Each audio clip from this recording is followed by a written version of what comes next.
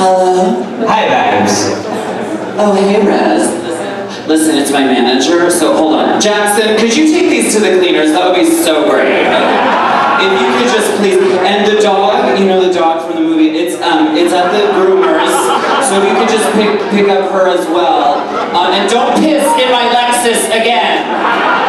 For fuck's sake. We have to do something about your hair. I've got a great idea we're going to dye your hair from brown to red. We're going to take you from a mousy little girl next door, plain Jane Michelle Brown,